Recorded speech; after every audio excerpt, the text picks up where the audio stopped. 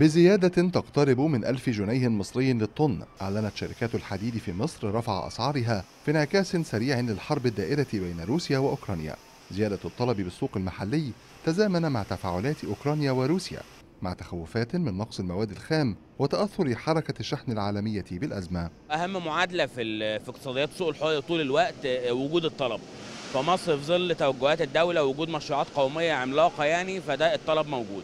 التغيرات من الوقت للتاني في الأسعار ده نتيجة أسباب أغلبها عالمية. ال- الأسباب دي منها أزمة روسيا وأوكرانيا الأزمة الأخرانية ووجود الخام البلت عند الدولتين دول تحديدا بس في مصر عندنا بدايل نستورد منها زي الصين وزي تركيا.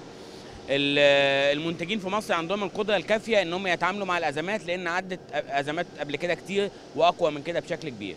بحسب بيانات غرفة الصناعات المعدنية فإن متوسط الأسعار الجديدة لطن حديد التسليح في مصر وصل إلى 16 ألف جنيه. تنتج مصر حوالي 7.9 مليون طن من حديد التسليح منها 4.5 مليون طن من خام الحديد محليا بينما تستورد 3.5 مليون طن من الأسواق العالمية. الكتلة الخرسانية بتخش فيها قد إيه من نسبة الحديد؟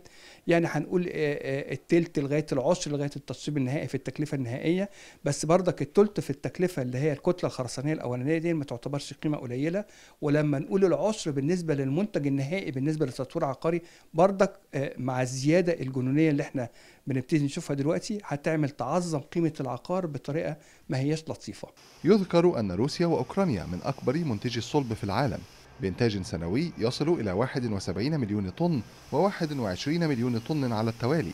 وبالتالي فإن توقف العمل بالمصانع أو تعطل حركة الشحن في موانئ البلدين لفترة أطول ستؤثر بالتأكيد على الإمدادات في أسواق الحديد العالمية برمتها وينعكس ذلك صعودا على مستويات الأسعار.